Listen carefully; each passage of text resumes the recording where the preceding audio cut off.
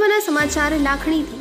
લાખણી તાલુકાની ચોવીસ ગ્રામ પંચાયતના સરપંચ તેમજ સભ્યોની ચૂંટણી રવિવારે યોજાયા બાદ મંગળવારે મતગણતરી હાથ ધરવામાં આવી હતી. લાખણી તાલુકાના સેવા સદન ખાતે યોજાયેલી ચોવીસ ગ્રામ પંચાયતોની ચૂંટણીમાં કુડા ગ્રામ પંચાયતમાં સરપંચ પદની ચૂંટણી માટે ચાર ઉમેદવારોએ ઝંપલાવ્યું હતું. જેમાં ત્રણ ઉમેદવારો વચ્ચે ભારે રસાકસી સર્જાઈ હતી. જેમાં પ્રથમ ગણતરી બાદ સિલાણા ધુંખાજી, ભગાજી, વિજેતા થયા હતા.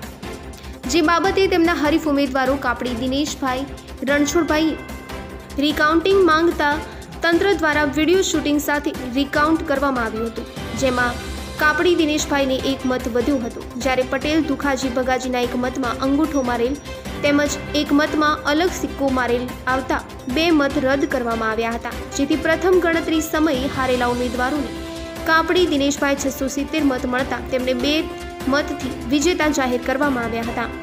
લાખણીથી મહાદેવ પ્રજાપતિ સાથે ભીમ જતી ગોસ્વામીનો રિપોર્ટ.